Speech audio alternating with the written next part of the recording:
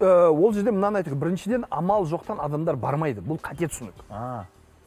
Ол не үшін барады? Мен аудандық ауруханаға бардым ем ала алмадым одан кейін тәуіпке барады аудандық аурухана бар облыстық аурухана бар республика аурухана бұл деңгейдегі ауруханалар не үшін бар?